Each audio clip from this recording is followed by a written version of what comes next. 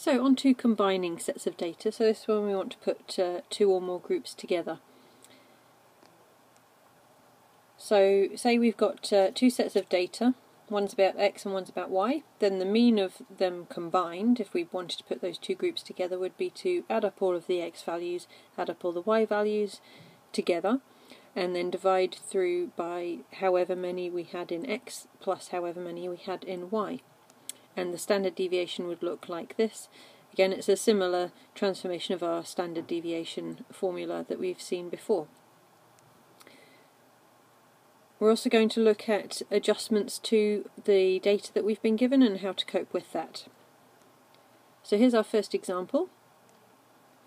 Just take a little while to uh, have a read through that. So we're talking about a, a, waiter working a weekend. He's calculating the tips that he received um, and X is referring to the tips received on Saturday and Y for the tips from Sunday.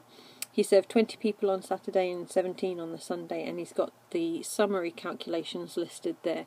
We want to work out the mean and the standard deviation of the tips that he received over the whole of that weekend, so we need to put those things all together to work out the mean and standard deviation. So, looking at the mean, we have this happening. So, we're going to add up the total of the tips on Saturday and on Sunday, and then divide through by our total number of customers for Saturday and Sunday. And we get that average tip of $16.70 per customer over the whole of the weekend.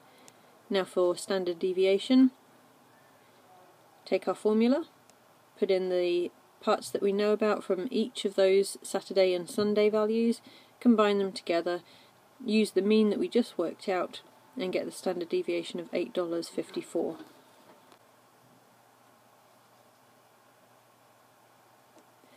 Now if we have a look at this next example, sticking with the same theme, after this waiter had finished doing his calculations he had one more customer come in on the Sunday.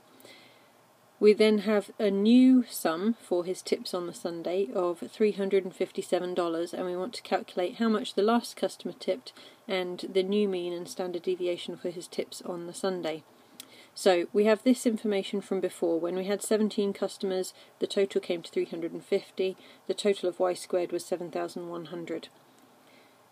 Now when we add in the 18th person, we get the total of 357, which means that the last customer added 7 to the total, so he must have tipped $7. Then we can work out the new mean, 357 divided by 18.